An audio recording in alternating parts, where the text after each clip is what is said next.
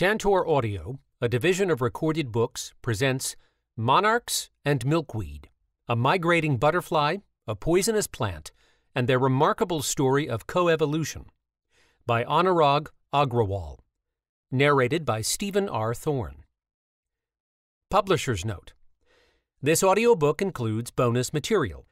Please visit Tantor.com and type Monarchs and Milkweed into the search box.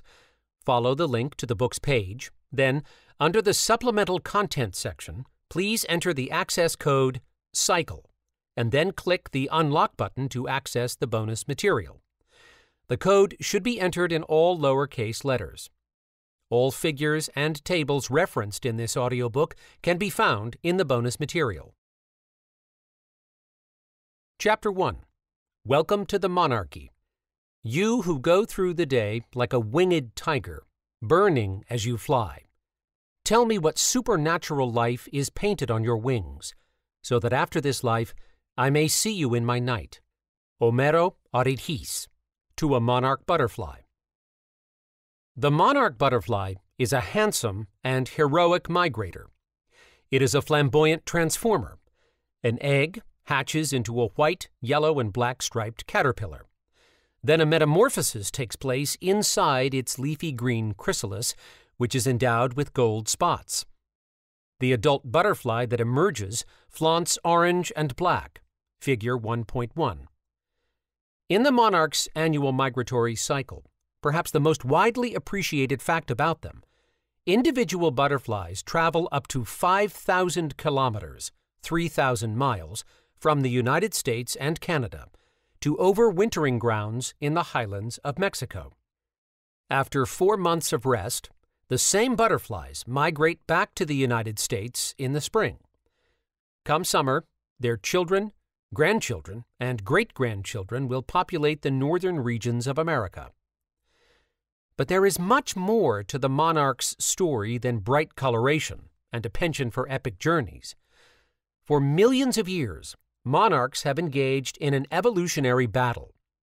The monarch's foe in this struggle is the milkweed plant, which takes its name from the sticky white emissions that exude from its leaves when they are damaged. The monarch milkweed confrontation takes place on these leaves, which monarch caterpillars consume voraciously, as the plant is their exclusive food source. Milkweeds, in turn, have evolved increasingly elaborate and diversified defenses in response to herbivory. The plants produce toxic chemicals, bristly leaves, and gummy latex to defend themselves against being eaten. In what may be considered a coevolutionary arms race, biological enemies, such as monarchs and milkweeds, have escalated their tactics over the eons. The monarch exploits and the milkweed defends. Such reciprocal evolution has been likened to the arms races of political entities that stockpile more and increasingly lethal weapons. This book tells the story of monarchs and milkweeds. Our journey parallels that of the monarch's biological life cycle, which starts each spring with a flight from Mexico to the United States. As we follow monarchs from eggs caterpillars, we will see how and why they evolved a dependency on milkweed and what milkweed has done to fight back. Figure 1.2. We will discover the potency of a toxic plant and how a butterfly evolved to overcome and embrace this toxicity. As monarchs transition to adulthood at the end of the summer, their dependency on milkweed ceases and they begin their southward journey. We will follow their migration, which eventually leads them to a remote overwintering site, hidden in the high mountains of central Mexico. Along the way, we will detour into the heart stopping chemistry of milkweeds, the community of other insects that feed on milkweed, and the conservation efforts to protect monarchs and the environments they traverse. To be sure, this story is about much more than monarchs and milkweeds. These creatures serve as royal representatives of all interacting species, revealing some of the most important issues in biology. As we will see, they have helped to advance our knowledge of seemingly far flung topics, from navigation by the sun to cancer therapies. We will also meet the scientists, including myself, who study the mysteries of long distance migration, toxic chemicals, the inner workings of animal guts, and, of course, coevolutionary arms races. We will witness the thrill of collaboration and competition among scientists seeking to understand these beautiful organisms and to conserve the species and the ecosystems they inhabit. From Simple Beginnings From a single common ancestor, milkweeds diversified in North America to more than 100 species. And the monarch lineage is no slouch, with hundreds of relatives we call milkweed butterflies throughout the world. Although monarchs are perhaps best known in the northeastern and midwestern United States, they occur throughout North America, and self sustaining populations have been introduced to Hawaii, Spain, Australia, New Zealand, and elsewhere. Figure 1.3. Interactions between butterflies and milkweeds now occur throughout the world, but this account focuses primarily on what happens in North America. The reason is quite simple. Eastern North America is where the monarch, Danaus plexippus, considered by most to be the pinnacle of milkweed butterflies, co-evolved with milkweeds. The monarch's annual cycle in eastern North America involves at least four butterfly generations, with individuals crossing international borders several times. In spring, butterflies migrate from Mexico to the southern United States.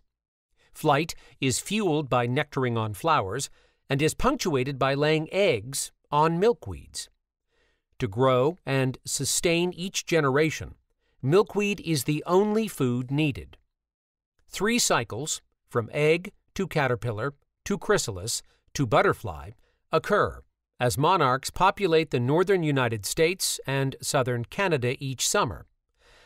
And while nearly all mating, egg laying, and milkweed eating occurs in the United States and Canada, each autumn monarchs travel to Mexico.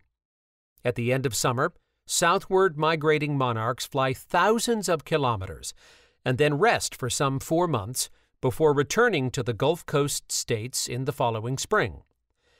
How and why they do it is a story that continues to unravel, and it no doubt will keep scientists busy for centuries. The energy that builds a monarch butterfly's body ultimately comes from plants, as it does for all animals. For most butterflies and moths, collectively the Lepidoptera, the caterpillar stage is essentially a leaf eating machine. Perhaps it is not surprising, then, that caterpillar feeding has led to the evolution of armament, or defenses, in plants. The leaves of nearly all plant species are not only unappetizing to most would be consumers, they are downright toxic.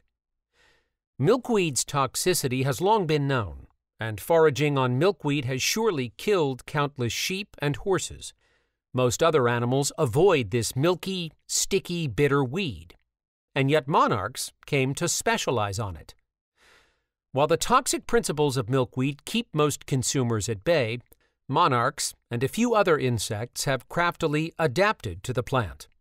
Humans have used the chemical tonic of milkweeds as medicine for centuries, and so too have monarchs exploited their medicinal properties, at least at low doses.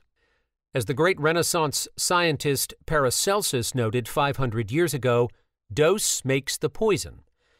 There is often a fine line between poison and medicine. Much of this book is devoted to unraveling the evolution of poisonous and medicinal properties in plants that are habitual fodder for animals. The evolutionary war waged between monarchs and milkweed is a product of their intimate relationship. Monarchs not only tolerate milkweed's toxicity, but have evolved to put it to work. For more than a century, insect enthusiasts have observed that most bird predators leave monarchs alone, presumably because their bright coloration signals a toxic body. Nonetheless, monarchs are not free of enemies.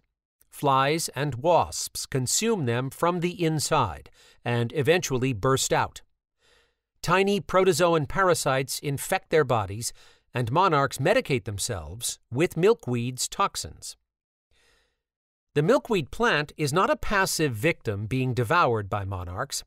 When the plant is attacked, its entire physiology, expression of genes, and toxicological apparatus kicks into high gear, like an immune system. Milkweeds may lack an animal's central nervous system, but they possess all the other attributes common to the sessile sugar factories we call plants. They actively engage in strategies that defend against, tolerate, and when possible, manipulate insect enemies like the monarch butterfly. While some mysteries of monarchs and milkweeds were only recently solved, much of what I present about the interaction between monarchs and milkweeds was reasonably well known, or at least hypothesized, more than a century ago. Figure 1.4. Searching through old newspapers, one can find beautiful accounts of their relationship. Although the classification of the monarch butterfly has changed over the past 150 years, the intimate interaction with milkweed was observed from the very beginning. Monarch plagues have been reported for at least as long, frightening entomophobes, people afraid of bugs. Nonetheless, because milkweed is sometimes considered an undesirable weed, an abundance of monarchs was also said to be beneficial by entomologists who knew the insect, as it might control the plant. There were newspaper reports of monarch invasions from Canada as they migrated south past Rochester, New York, as early as the 1880s. Although there was some controversy about whether the butterflies migrated long distances, it was solidly hypothesized early in the 20th century that this insect followed the seasons, south in the autumn, and with multiple generations moving northward each spring. How and why they migrate and how and why they feed exclusively on milkweed were discoveries made over the next hundred years. Honestly, they are not fully solved mysteries, but we have made great progress, and this book is about revealing the science behind these discoveries.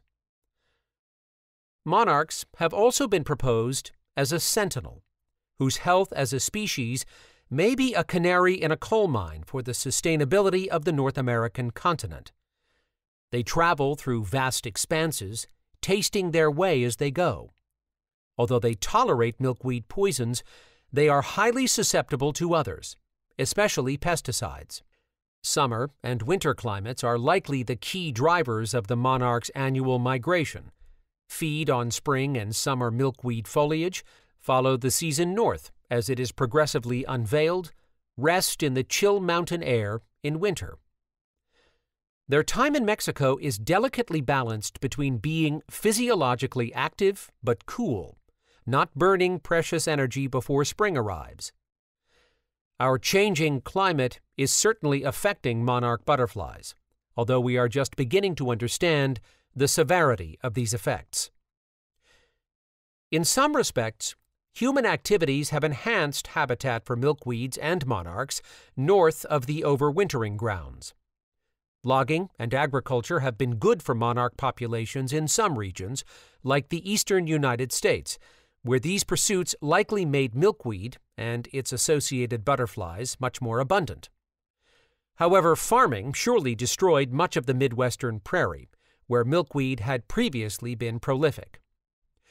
Now, the same processes, combined with the indirect influences of other human activities, have been suggested as drivers in the decline of monarch butterfly populations.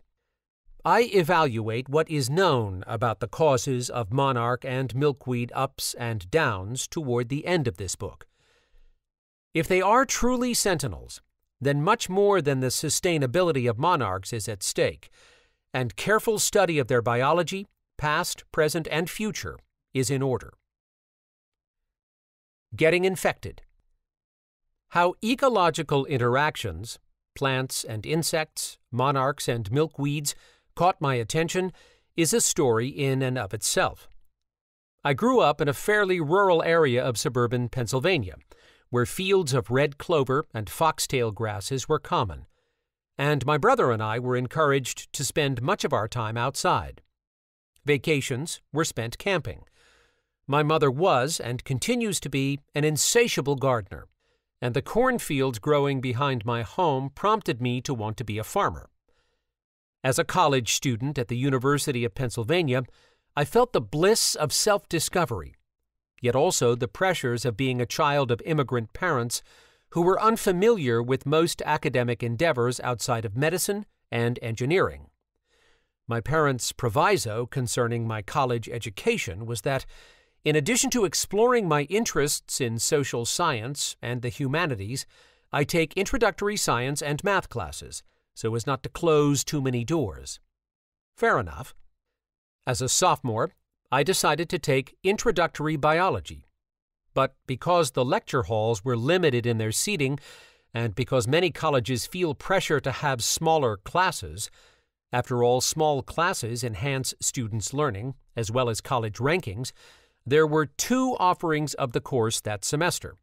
Similar classes, covering much the same material, but taught by different professors. To choose, I did what many students did, and still do. I consulted what was known as a SKU guide, a for the students, by the students survey of courses that outlined the degree of difficulty, what was liked and disliked by students who had taken the course previously, and unashamed caricatures of the esteemed faculty, the clothes they wore, comments about their hygiene, and notes about their traits, usually having little to do with their ability to impart scholarly information. Sad, but true, what sealed the deal for me was the characterization of one of the professors. Typically comes late to class and leaves early. I actually don't remember if that ended up being true, but the course and his approach to biology caused a profound shift in my own development as a student. Dr. Daniel Janzen presented biology as a set of stories, far stranger than any science fiction I had read.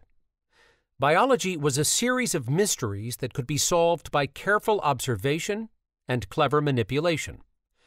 Biodiversity was presented as a bottomless mine of species and interactions that had been shaped by both millions of years of evolution and the now dominant species on the planet, Homo sapiens.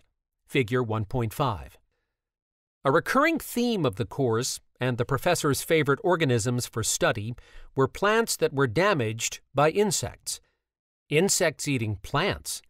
What about the charismatic megafauna? Lions, tigers, and sharks? Or at least buffaloes and birds? Now that I am a professor, I annually teach a course called Chemical Ecology with several faculty colleagues at Cornell University. In this course, we analyze how chemicals in the natural world mediate interactions between species. Why are chilies and horseradish spicy?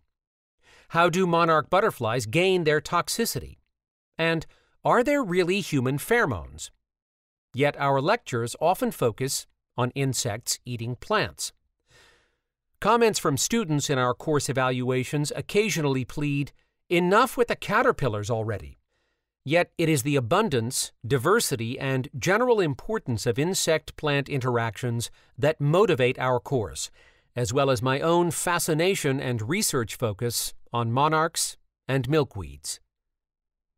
Arthropod plant interactions. What can little creatures like monarch butterflies and their vegetarian habits teach us about nature? First, the source of essentially all of the energy that powers an animal, really any food chain, comes from plants. They constitute an exclusive group of organisms that can process non living matter and turn it into the energy that is needed for life. That process is photosynthesis, and that energy is sugar.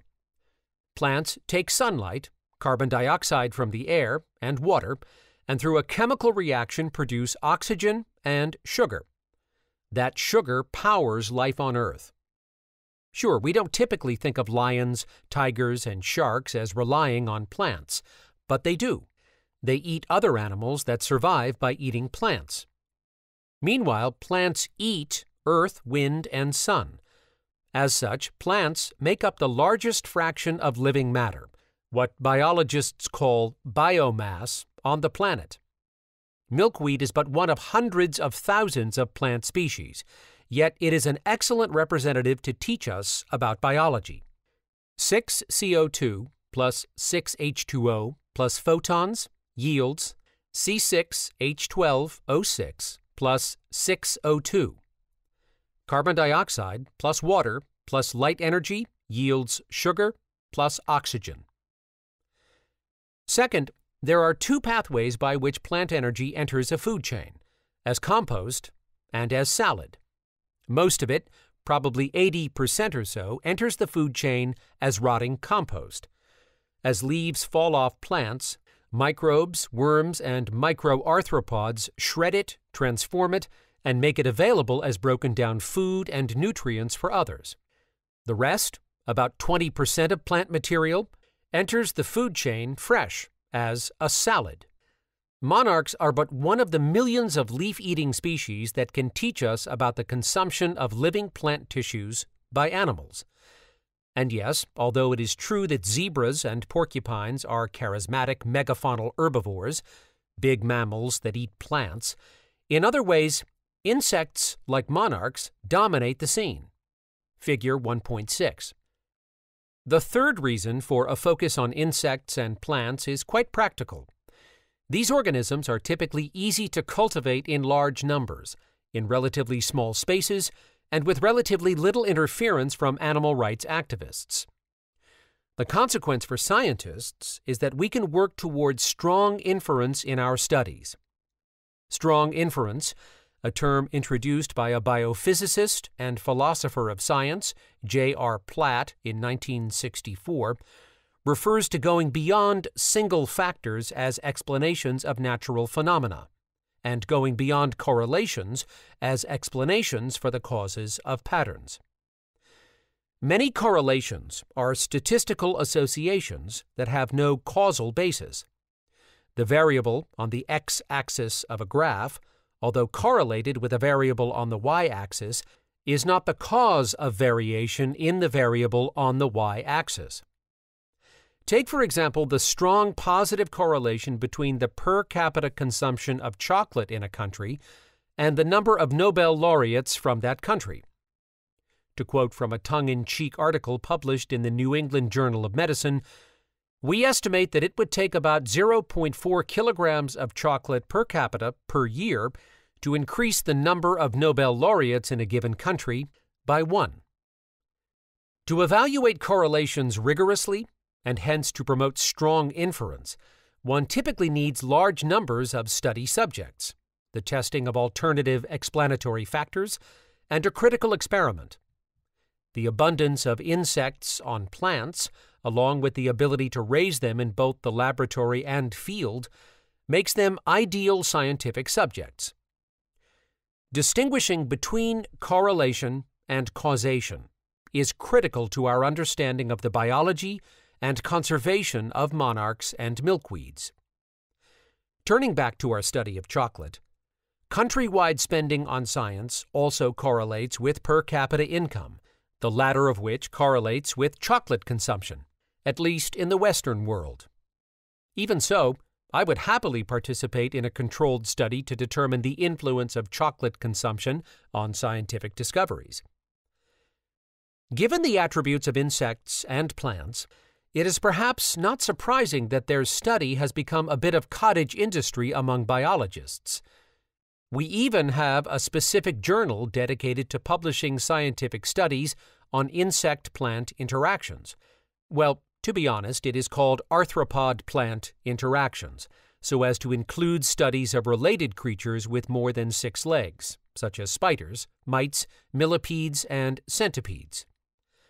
The main point, however, is that in addition to their general abundance, diversity, fascinating biology, and the tractability of study, these insect plant systems have become a general model for understanding biology. Given the millions of species on the planet, biologists make progress through the in depth study of several model systems that intensely examine a few selected organisms with the hope of generalizing to other systems. Sometimes these models are specific species, like the lab rat. In other cases, however, the models may be habitats or groups of species that have their own ecologies. Monarchs and milkweeds have proven to be an excellent model system through which we can understand the coevolution and conservation of species. Like all plants, milkweeds have an arsenal of toxins evolved by natural selection to ward off pesky herbivores. Like all herbivores, monarchs have a diverse portfolio of tolerances and strategies that leave them undeterred from feeding on their food. And all animals have their own enemies, predators, parasites, and microbial infections. Monarchs are no exception, and yet the detailed study of their relationships has revealed a role for milkweed's toxic properties in the interaction between monarchs and their enemies. The monarch's spectacular form and flight, although extravagant, demonstrates the lengths to which natural selection can go. And because of the food and habitat needs of the monarch along its annual migratory cycle, monarchs have now become important in understanding general principles of species conservation. Monarchs and milkweeds have served as an important icon for debates and concerns about genetically modified organisms, climate change, and environmental issues more broadly. Finding Monarchs and Milkweeds Inspired by Professor Janzen's introductory biology class, fueled by a newly found passion for studying insects on plants, and advised to find one of the big state universities, the land grant colleges, as they are called, I ended up pursuing a PhD at the University of California on the Davis campus. I landed at UC Davis probably because of the confluence of several factors. It was far enough from home that it sparked some sense of exotic mystery. It provided the opportunity to study with a talented and beloved mentor, Dr. Richard Karban, who remains a friend and inspiration. And it had one of the top programs in ecology and evolutionary biology. My parents were slightly befuddled, if not worried, by this choice. The university was not a big name school, it was far from home, and after all, I was leaving the traditional lines of inquiry to become some sort of bug doctor.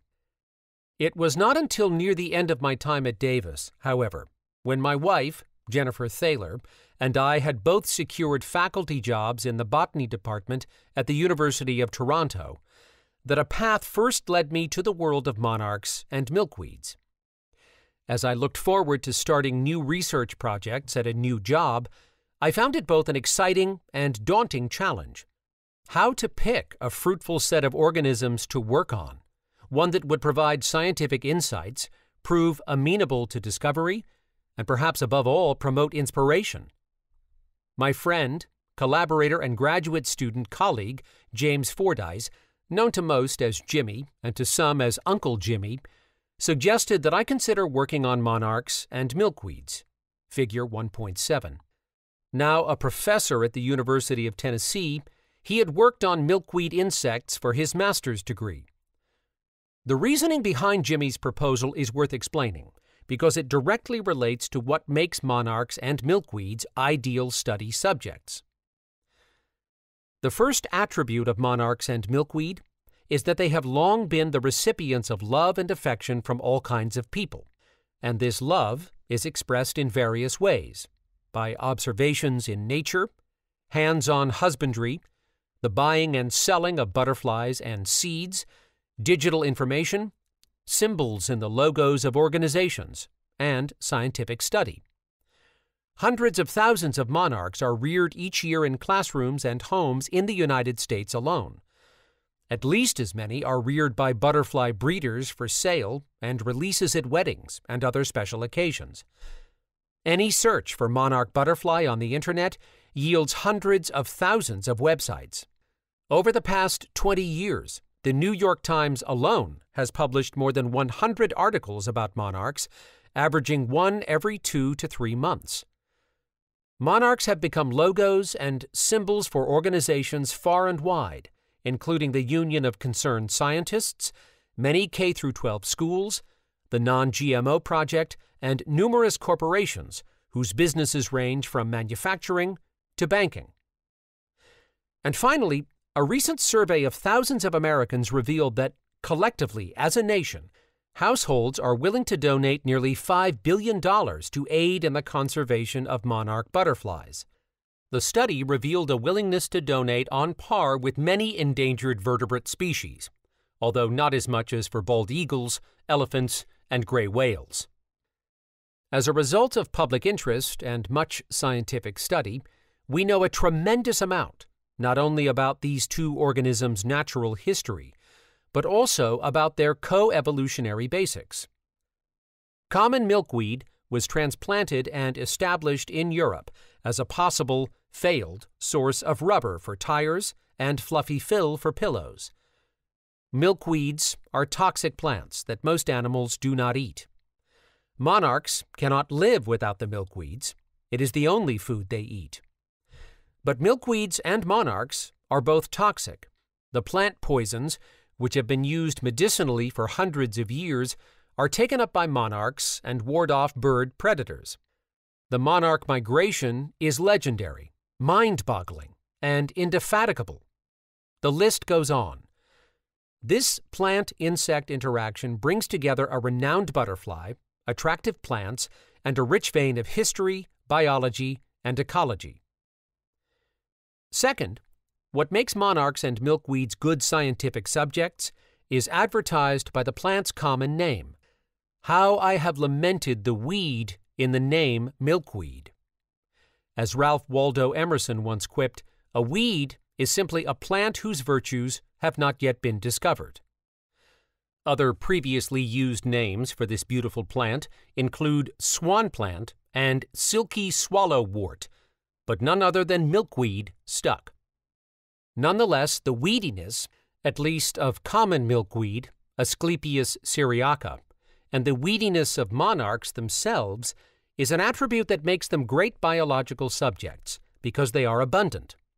The insects and plants alike are easy to spot. The butterflies are colorful, typically not elusive, and active during the daylight hours. These species make the process of doing science, rearing lots of them, screening them for their traits and behaviors, finding them in the field, and grinding them up in the laboratory, an easier process. Although working on rare species is certainly an important task for ecologists, rarity presents a set of challenges before scientific investigation even begins. Third, both monarchs and milkweeds are native to North America.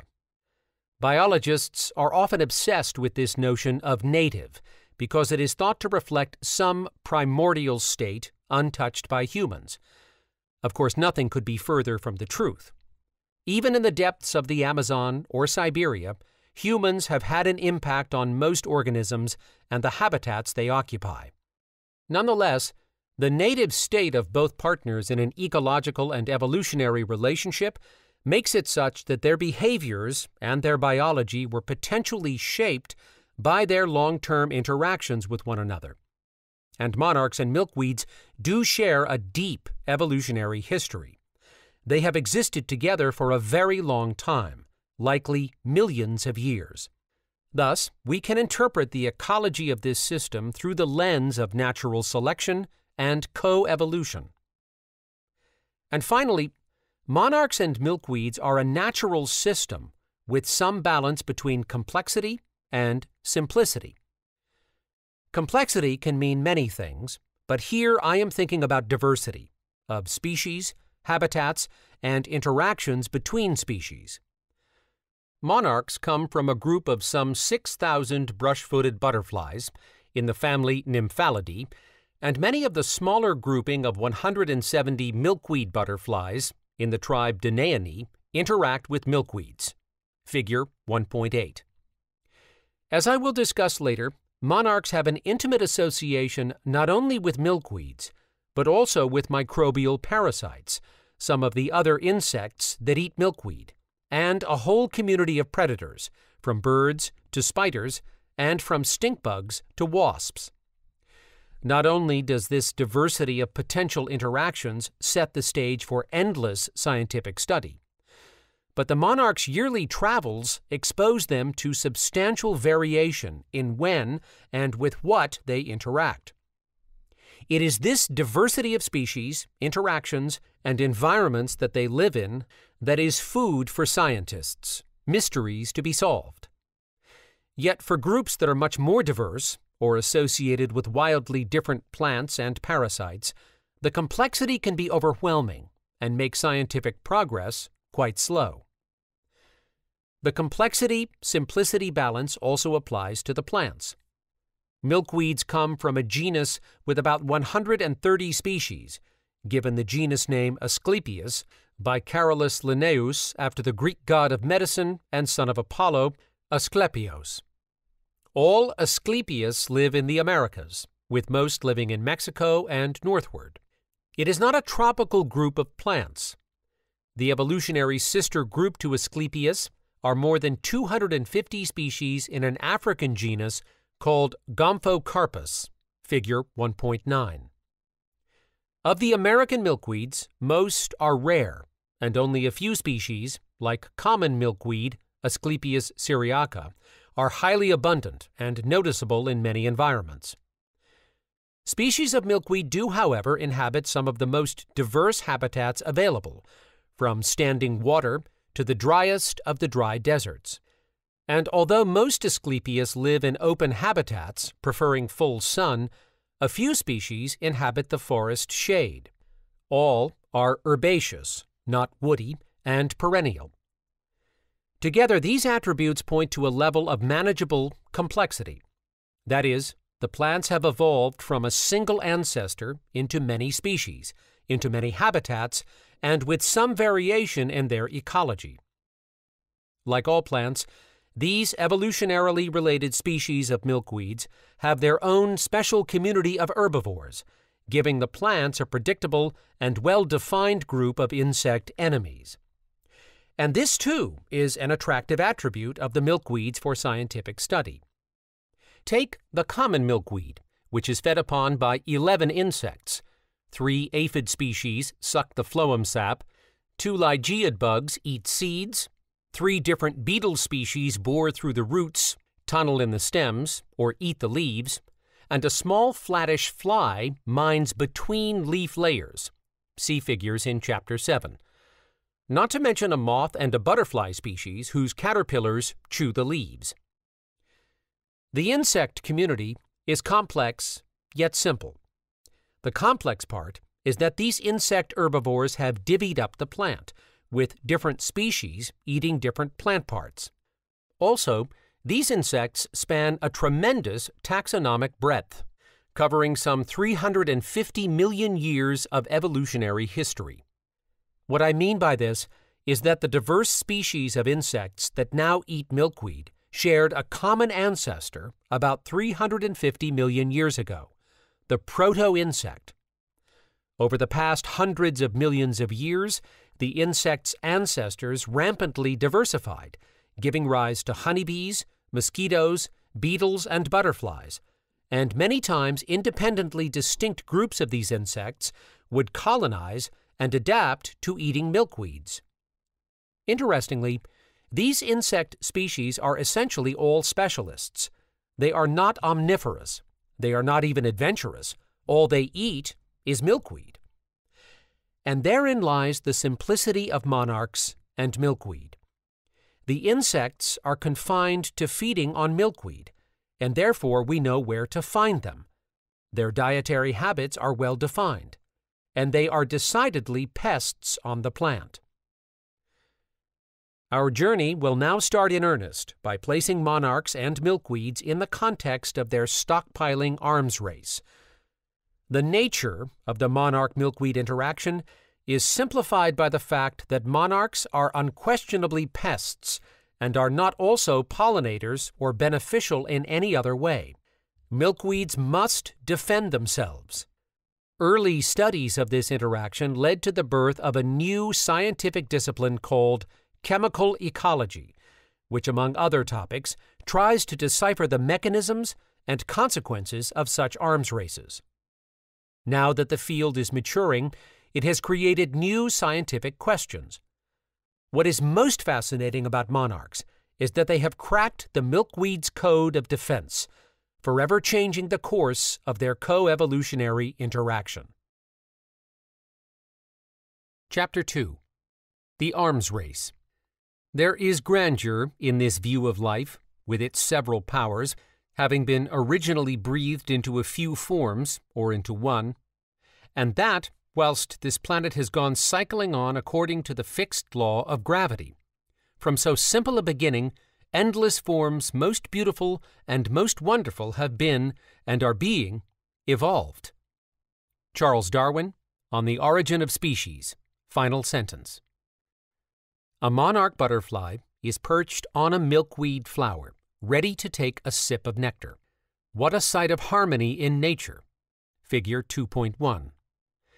But this butterfly is not a pollinator of milkweed.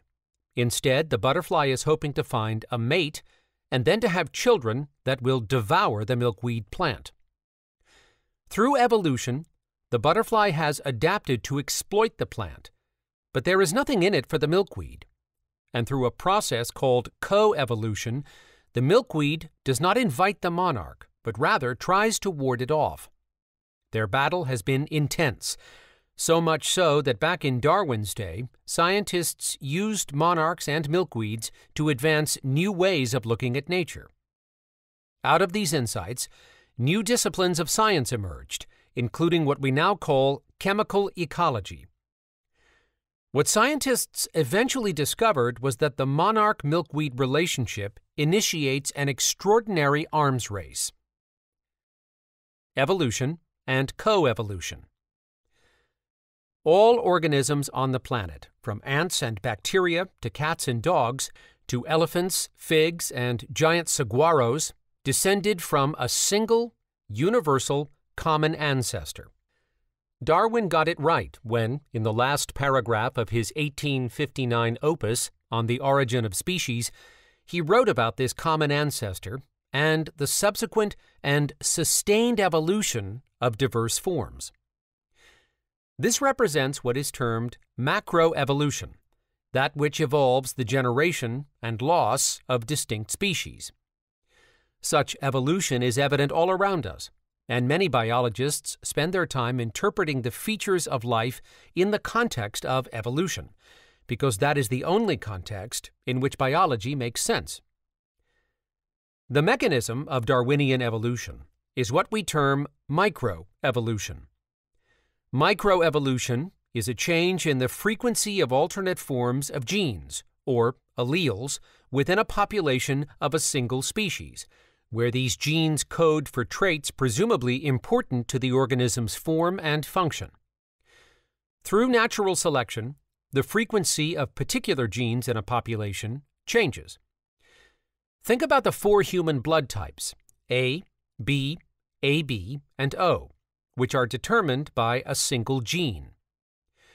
In some human populations, natural selection has favored a higher representation of particular forms of that gene, typically because different blood types are more or less resistant to particular diseases. In their simplest forms, micro and macro evolution are beautiful, powerful, and commonplace at the same time. Polar bears' white fur helps to camouflage them in the Arctic, while their underlying black skin absorbs heat. Plants living in deserts have evolved many ways to conserve water, and animals that live in caves commonly lose their eyesight over evolutionary time. But evolution occurs not only with respect to the physical and chemical attributes of the environment, such as moisture, light, and temperature, but also in relation to the biotic environment, the other organisms with which a species interacts. Take, for example, the evolutionary origin of the revolutionary drug penicillin. Fungi that eat dead and decaying things, like the penicillium molds that gave us penicillin, evolved to produce antibiotics to defend the resource they are eating from other tiny consumers, like bacteria. Each of the hundreds of species in the genus Penicillium produces distinct chemicals, most of which have been shaped by natural selection. Natural selection can be likened to a filter. As long as there is heritable variation in a population, natural selection can cause evolutionary change because those individuals with advantageous traits are the ones who survive and successfully reproduce. Natural selection hones traits within populations of a species, and as populations diverge, macroevolutions take hold, allowing for speciation.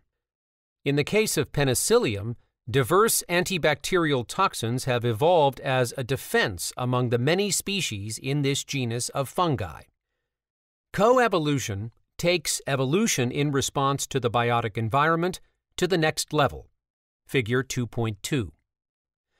When organisms interact, like the competing molds and bacteria, or the mutually beneficial relationship between flowering plants and pollinating bees, or the cat and mouse game of predators and prey, coevolution is possible. Coevolution is the reciprocal adaptation that occurs as species interact. The term adaptation means that the frequencies of particular beneficial genes in a population will increase. In coevolution, the changes are imposed by the interaction partner, say the cat imposing natural selection on the mouse. The evolutionary response to this selection may be that mice are better camouflaged or faster runners, as the more apparent or slower individuals will be removed from the population by predators.